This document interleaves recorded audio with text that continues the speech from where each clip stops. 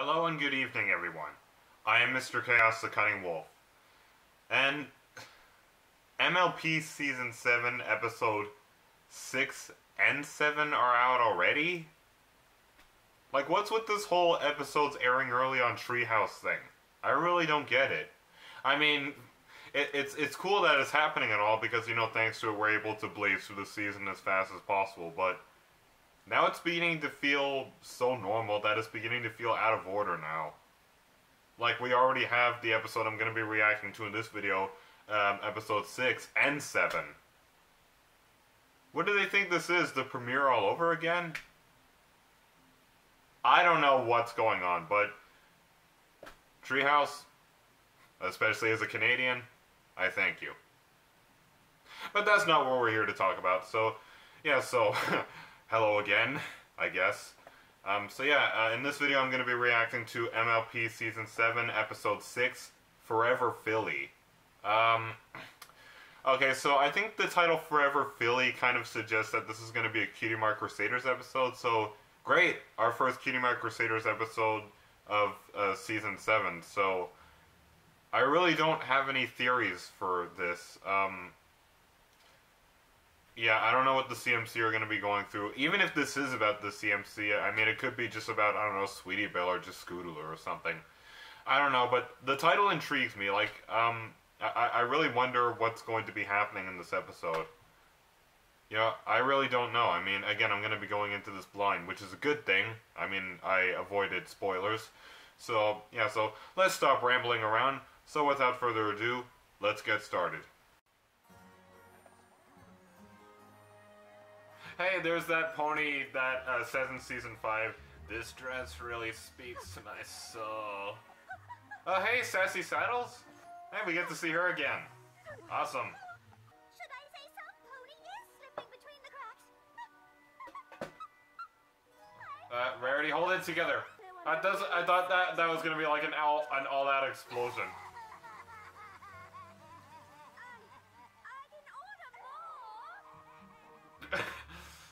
No, hey, cheer up, Rarity. Or- No, she she just says, I can order more.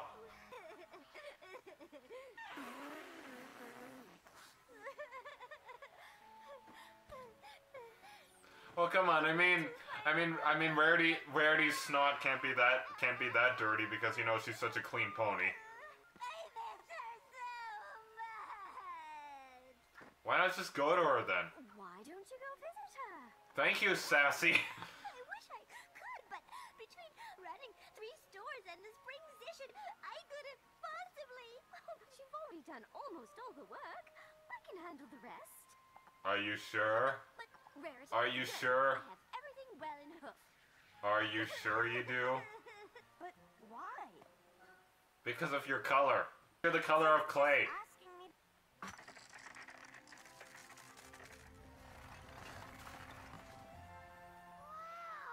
Wow! Okay, that is impressive. It looks just like us. We knew you had it in you, Chip. This is way better than sandwich sculpting. It makes me wonder how he did that without magic. That was a nice little. I like that. I like how we got a little uh, recap of what the CMC do best before we break into the story. This is just about my favorite thing to do. Well, that's why you got cutie marks for it, duh. Hey, there's Gabriella on the wall. now. Is she like a lost sister of Diamond Tiaras? I'm sorry, but I mean, the tiara on her head really says it.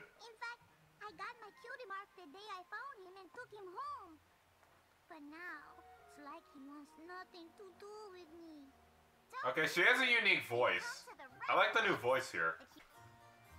Oh, so sorry, dear. You're tiny. I didn't even see you there. oh, sorry, you're tiny. I, I don't know why that sounded cruel for some reason. Like, oh, sorry, dear, you're tiny. I have responsibilities and. Oh. Go on, sweetie Belle. We got this. Um, How often do you get to wait. Is this episode about like you know saying you've got something covered? Is this about like saying so- saying that you have something covered when really you don't? I mean, I'm seeing a connection here. what the hell? Hey, hey, it's a, it's the puppets guy again. It's it's the guy from um uh season four.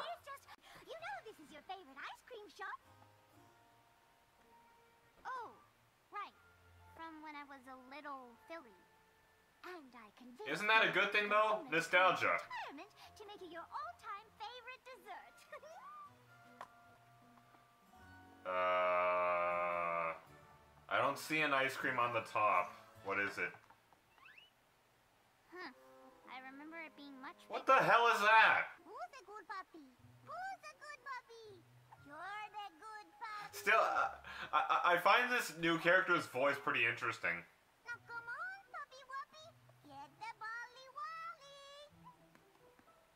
Does she have to say every word with uh, E?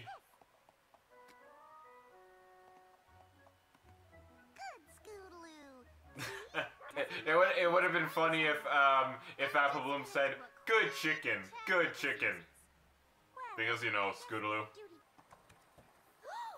I know just what to do with this. Now that is impressive. And pose. Swe- s- sweetie, Sweetie Belle's like kill me. You used to love doing these things with me. Yeah, used to. I used to. That's not who I am anymore. This isn't who I am. My cutie mark must be for something else. More more similar scene track uh, transitions. Only they're right beside each other. I see Sweetie Belle and Rarity right in the background, so they're not even that far from each other. if you still think I like doing this stuff, then maybe you don't know me at all.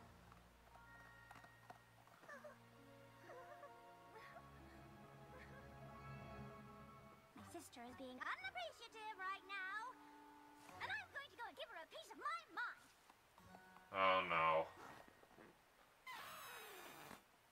Oh, okay, that's just sad. Oh, this squeaker is a little small for him now. Huh. Oh, so this is basically a directly connected episode. Same adorable little guy I found anymore. Still wonder what Sa- how Sassy Saddles is doing back at it used to, back in Canterlot. Back into a puppy. So, what do I do? Treat him like the dog he is, and find new favorite things to do together. You think so? I heard what you said, and you are so right. Okay, this is actually an interesting storyline. ah, there's Rarity with the. okay, you'd think Sweetie Belle has a bigger smile, but no, Rarity has a bigger one.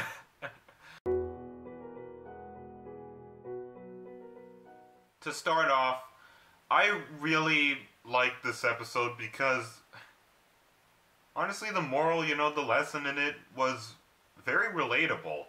Like, it is very true that as people grow old, their interests change. And sometimes, you know, if we don't catch up properly with that person over a long period of time, then we can really forget, you know, who they really are today. Or, you know, you know what I mean? Like, you know, we don't really have a good idea of, you know, who they really are and what their interests are today.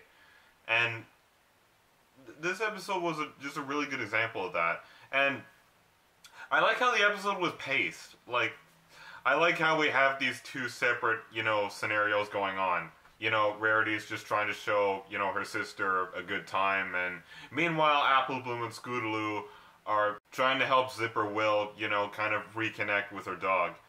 And yeah, I, I like how we have two different scenarios, you know, with the same lesson and moral playing out within just one episode. That was very interesting to see. And I like how they kind of just collided near the end. Like, uh, Rarity is obviously hurting by the way, you know, Sweetie Belle was brutally honest with her. She's like, Rarity, you really know me? Like, we didn't even catch up properly. I mean, you could have at least talked to me about what I'm into today before we went out to hang out. But no, you didn't do that. So, Sweetie Belle was brutally honest with her. And, you know, Rarity just wanted to spend some quality time with her little sister after such a long time. So, I understand that she felt crushed after, you know, hearing, you know, that tone of voice and, you know, that brutal honesty. But, you know, it was it was needed to be heard. It she needed to hear it, and she didn't realize it at first. At first, she was like, uh, "How dare she speak to me like that? She's being so ungrateful." Well, I'll show I'll show her. I'll give I'll give her a piece of my mind.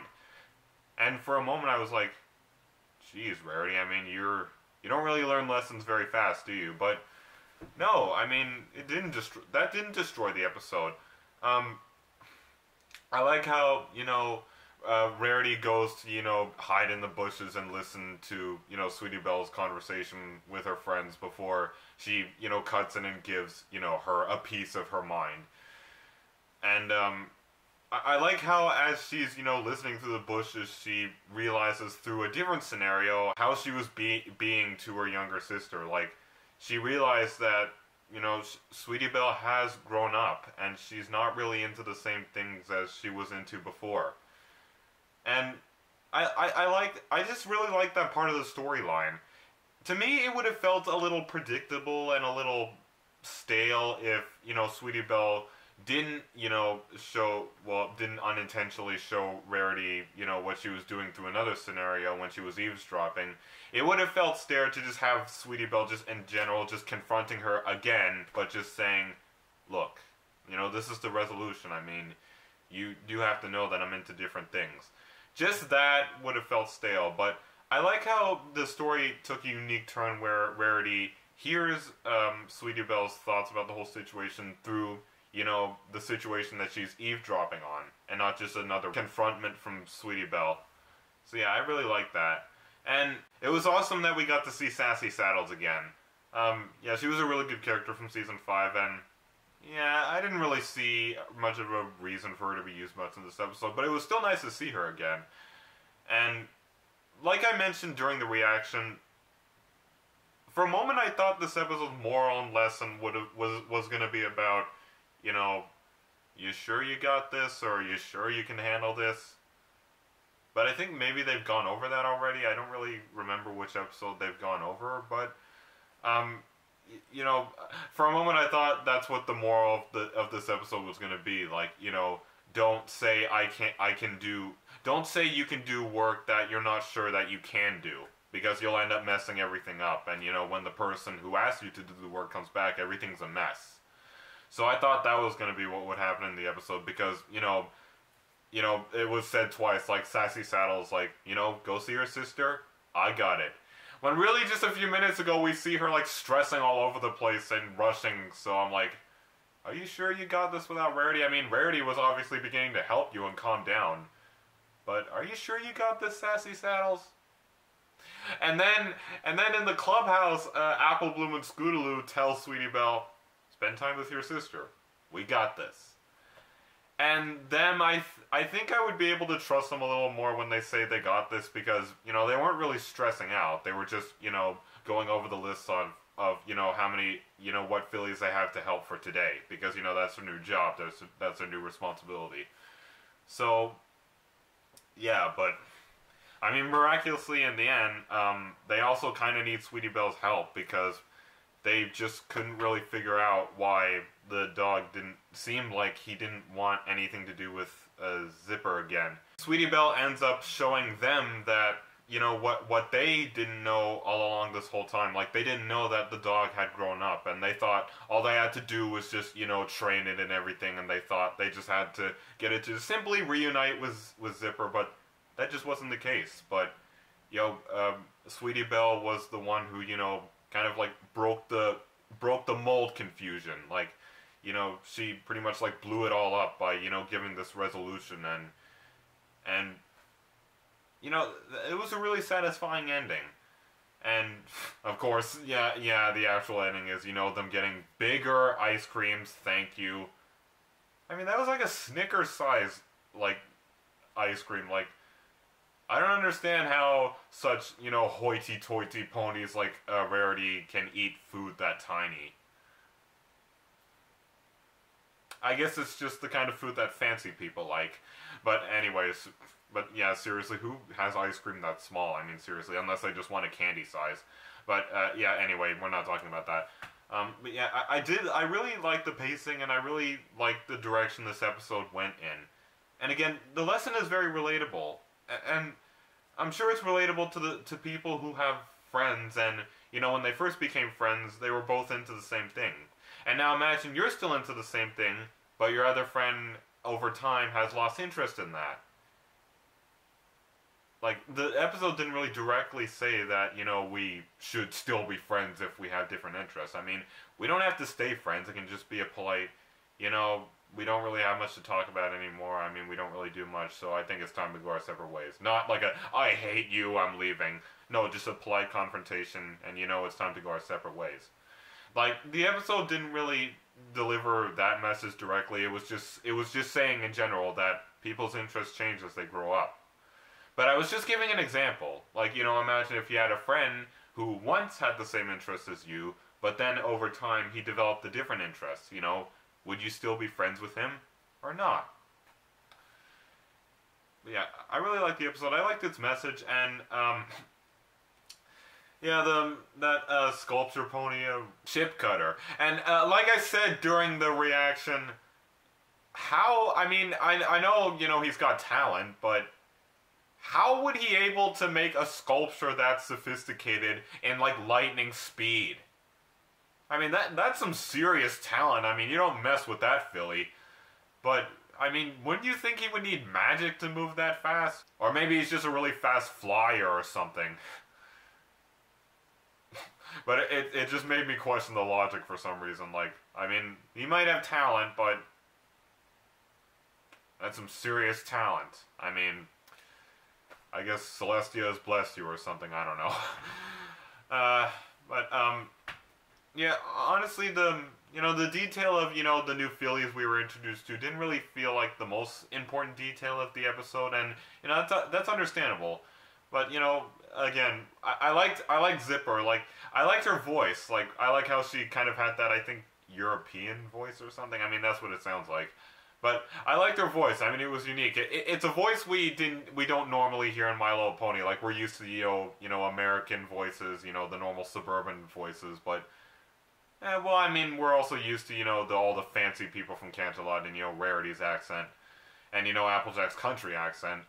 But this is the first time we've heard an accent like this, and I kind of enjoyed it. You know, it it shows that maybe My Little Pony is becoming more and more multicultural and yeah, I, I kind of like that. I still crack up in my mind in all those, you know, photo scenes with Sweetie Belle dressed up as first a sheep, then an egg, and then I think a flower or something. I like how she has that kill me face on her face. I mean, that's what it is. I mean, she's like, she really doesn't understand that I've grown up and my interests have changed. How much of an eye opener does she need? but still, I, I really like this episode. Um, what I wouldn't really say it's the best in the entire season, but it's a really good one, and I really don't really feel like I can really give this episode anything lower than a 10 out of 10, to be honest. I mean, I, I do think it's just as it's just as good as uh, Rock Solid Friendship, and I mean the same amount because I mean, despite this um, episode having no songs, and you know, I, really can't find the words. I mean, it was a good episode. I mean, the message was really good, and you know, it had its funny scenes, and there's really nothing else to say. I, I really liked it.